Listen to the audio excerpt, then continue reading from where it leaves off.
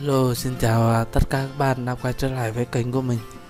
Thì à, hôm nay mình sẽ hướng dẫn các bạn cái cách để chúng ta thiết kế một cái à, banner như này Cái banner, cái ảnh bìa Facebook Để chúng ta đăng lên Facebook. À, Các bạn làm bằng cái phần mềm Illustrator CC 2018 nha. Rồi đầu tiên thì các bạn vào file New chúng ta tạo một file mới. Ở đây thì mình đặt kích thước cho nó này chiều rộng của nó là 1222 pixel chiều cao của nó là 465 à, các bạn à, vào color mode này thì các bạn cho nó là RGB nha. Rồi chúng ta nhấn click rồi ở đây thì à, mình sẽ làm trực tiếp trên cái file này luôn nha.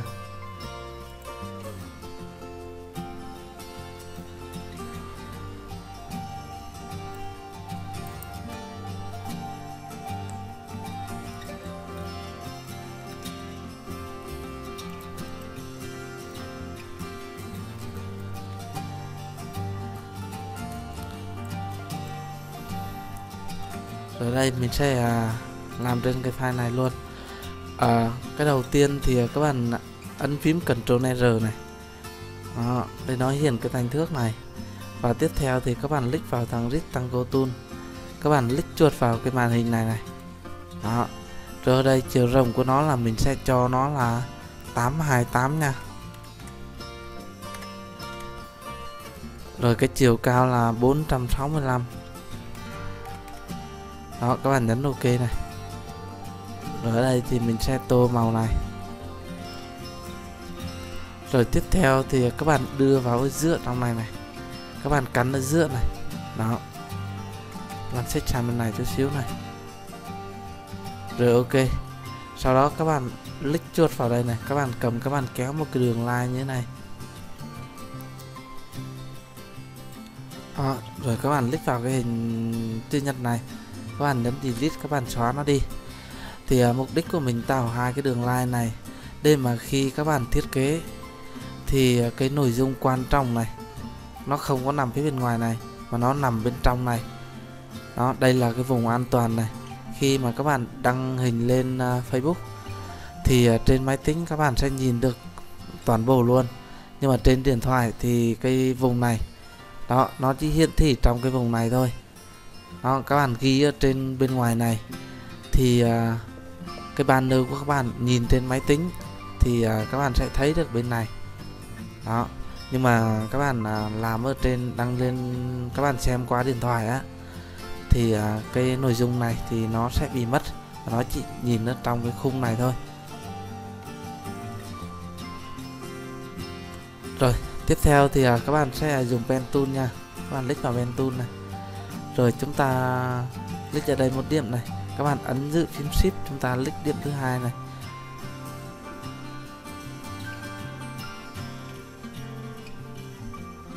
Rồi ở đây các bạn click điểm này, ấn giữ phím shift này. Click cái điểm tiếp theo này. Rồi chúng ta ấn giữ phím, chúng ta click vào đây này. Đó, rồi các bạn click vào đây. Đó, như thế này rồi tiếp theo thì à, các bạn vào file play. Mình sẽ cho cái hình nền này vào. Đây các bạn bôi một vùng như thế này. À. rồi tiếp theo các bạn click phải chuột này. Các bạn cho nó là ở trên này. Các bạn cho nó là send to back này. Nó nằm ở dưới cùng luôn này. À, rồi các bạn đưa nó qua đây. Rồi tiếp theo chúng ta các bạn bôi một vùng như này bôi hai cái đối tượng này này. Đó. Các bạn bôi hai đối tượng này các bạn click phải chuột này chọn clipping map này. Đó, thì cái hình này nó lồng vào bên trong này cho mình rồi. Rồi tiếp theo à, bên này cũng vậy. Các bạn sẽ à, dùng pen tool các bạn à, đây các bạn sẽ dùng pen tool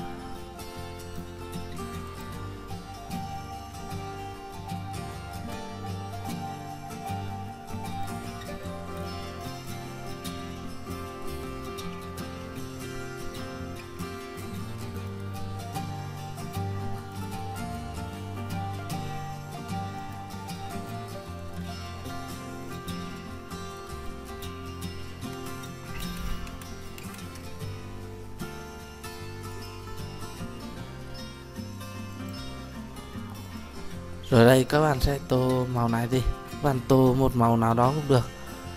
Tương tự các bạn vào file. Lấy mình sẽ cho cái hình này vào.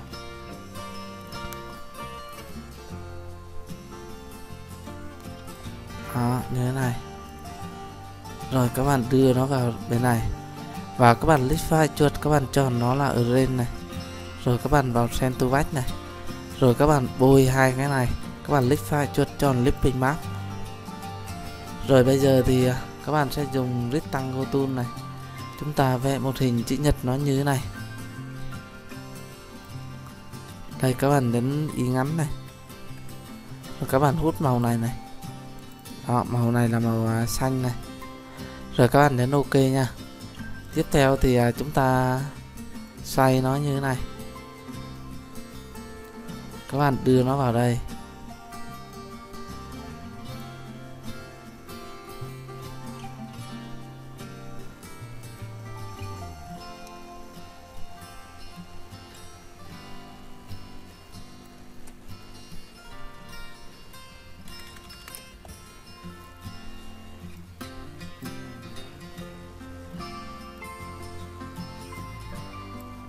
Rồi, các bạn đưa nó vào trong này.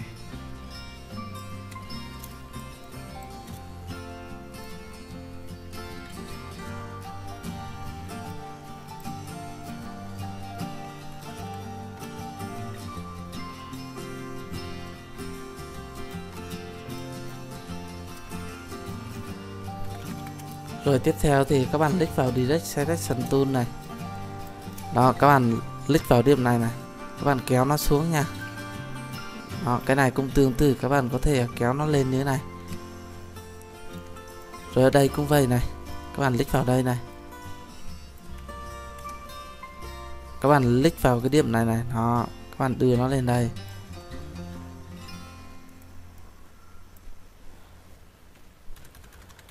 Rồi tương tự thì à, các bạn ấn giữ phím ALT này. Đó, các bạn chọn vào thằng selection tool đi rồi các bạn ấn giữ phím ALT và chúng ta đưa nó qua đây.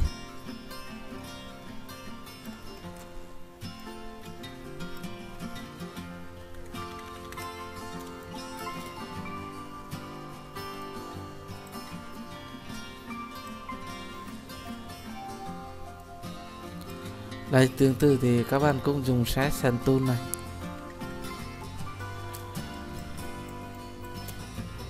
Đó các bạn click vào đây một điểm này ta kéo nó xuống đây.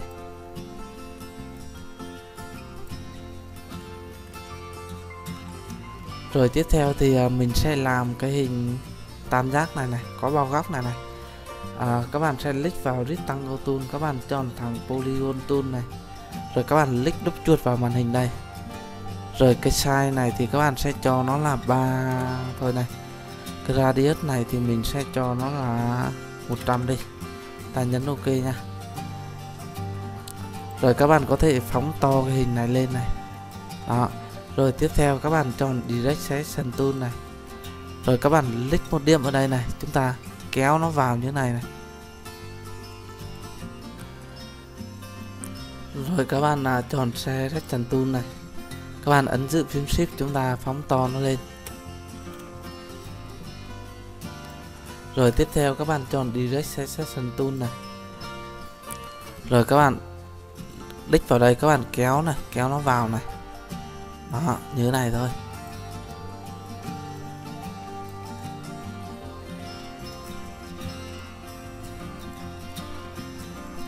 Bây giờ thì các bạn đã đưa nó là đây.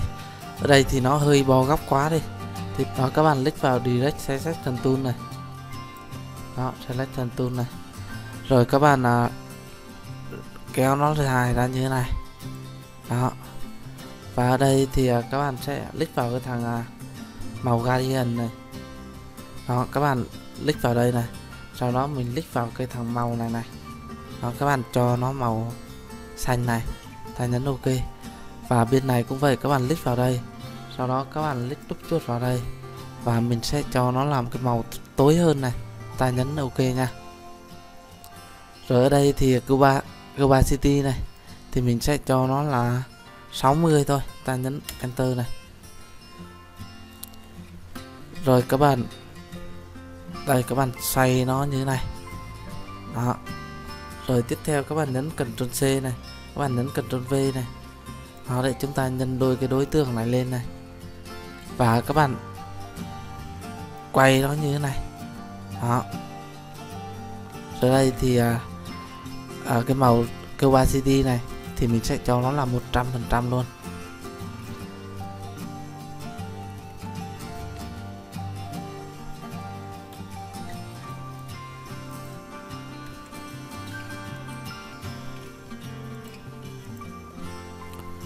Rồi tiếp theo thì ờ, các bạn ờ, click vào hình này chúng ta nhấn Ctrl C này, Ctrl V này. Đó các bạn đưa nó vào đây. Rồi ở đây thì các bạn có thể ấn giữ phím Shift chúng ta thu nhọn đi một chút xíu. Và cái màu sắc thì mình sẽ tô nó là màu trắng đi. Cái màu viền này thì mình sẽ cho nó là màu viền xanh đi. Xanh đậm như thế này luôn. Rồi, tróc này thì mình sẽ cho nó là hai pixel này, ta nhấn enter nha à, bây giờ thì các bạn xoay nó như thế này ở đây thì mình có thể à, ấn giữ phím shift à, các bạn đưa nó vào đây.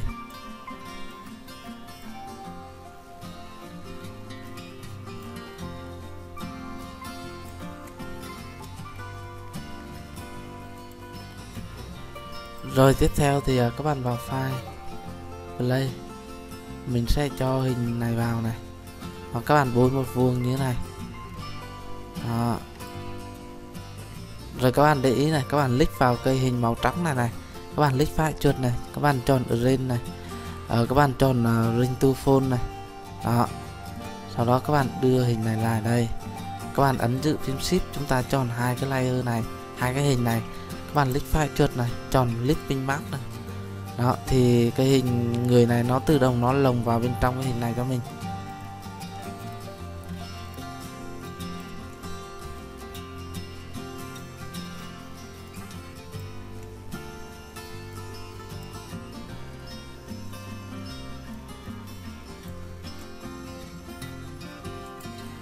Rồi bây giờ thì mình bôi cả ba cái đối tượng này. Và mình sẽ đưa nó vào trong này. Các bạn ấn giữ phím shift này. Ta thu nhỏ nó lại này. Đó, như thế này.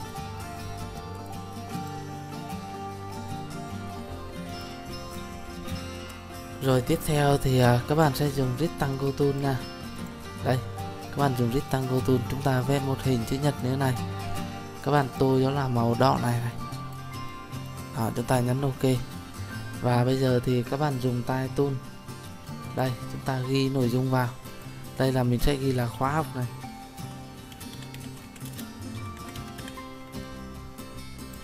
Rồi cái phông chữ này utm avo nha. Rồi các bạn ấn chữ phím shift chúng ta phóng to nó lên. Các bạn đưa nó vào đây này. Cái màu sắc thì mình sẽ tô là màu trắng này ta nhấn ok. Rồi các bạn ấn giữ phím shift này. À, giờ thì các bạn bôi hai cái này này. Các, các bạn click vào cái thằng align này này. Đó các bạn click vào đây. Rồi tiếp theo thì à, mình dùng tay tool mình sẽ ghi là tư vấn đầu tư này. Thì các bạn cứ ghi nội dung của các bạn nha. Các bạn dùng tay tool này.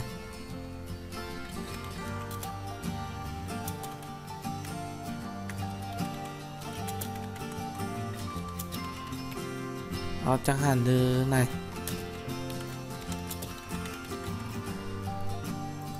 Đây, cái màu sắc thì mình sẽ cho nó là màu xanh như thế này này.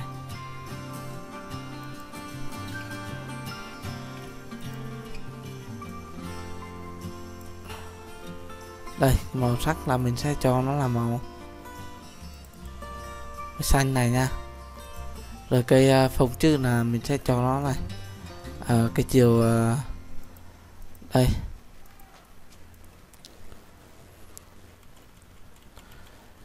Rồi cái à, phía dưới này các bạn cũng sẽ dùng tay tool này chúng ta ghi vào là được thôi nha.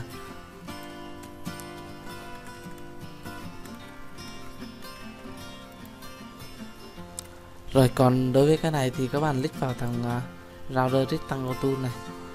Các bạn uh, vẽ một hình chữ nhật nó như thế này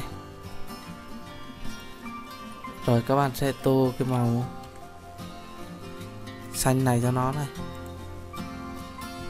Và các bạn cũng sẽ dùng tay tool chúng ta ghi nội dung vào nha. Đây, các bạn dùng tay tool này. Ta ghi nội dung vào. Rồi, các bạn đưa nó vào đây. Và sau đó các bạn đưa đây, các bạn à, cho cái website của các bạn vào này. Sau đó thì các bạn bôi toàn bộ nó như thế này. Các bạn click vào công cụ nó cần ở giữa này đó như thế này.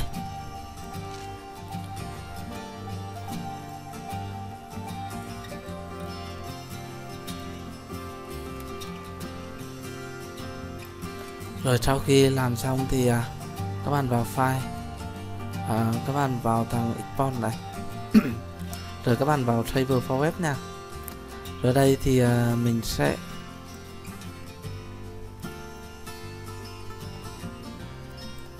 đây các bạn sẽ cho cái thằng này lên 200 đi. Đó.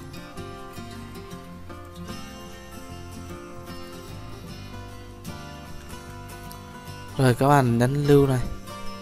Và các bạn đặt tên cho nó nha. Và các bạn lưu lại. Rồi như vậy thì à, mình đã hướng dẫn các bạn cái cách để chúng ta thiết kế một cây à, banner nó như thế này bằng cái phần mềm Illustrator CC à, các bạn nào mà có thắc mắc gì thì các bạn cứ à, để lại bình luận mình sẽ giải đáp. Nếu thấy hay thì like cũng như đăng ký kênh ủng hộ mình. Rồi, cảm ơn các bạn nhiều.